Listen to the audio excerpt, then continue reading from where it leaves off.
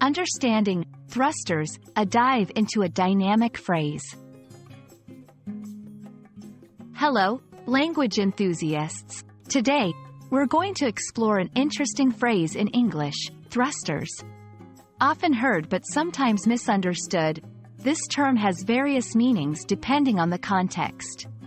Join us as we delve into the world of thrusters, unraveling its different uses and connotations.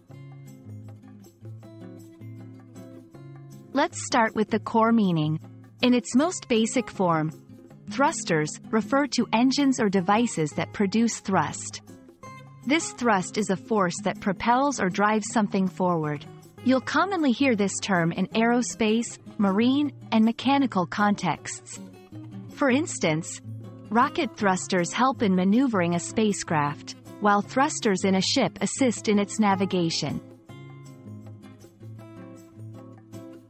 Interestingly, the term has been adopted into the fitness world too.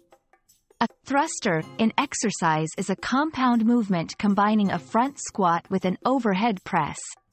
It's a dynamic, full-body exercise popular in fitness regimes like CrossFit. This usage highlights the adaptability of English phrases across different fields. Moving beyond literal meanings, thrusters can be used metaphorically. In casual speech, someone might say, I need to put the thrusters on this project, implying the need to speed up or intensify efforts. This metaphorical use borrows from the original idea of propulsion, applying it to general scenarios of acceleration or increased effort. As with many English terms, thrusters can be misunderstood or misused.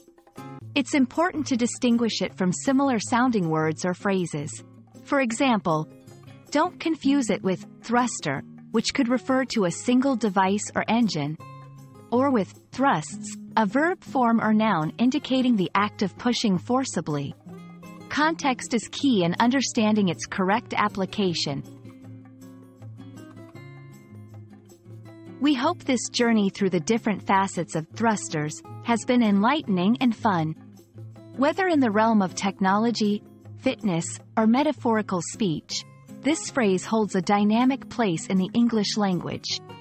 Keep exploring and enjoying the richness of English, and as always, stay curious.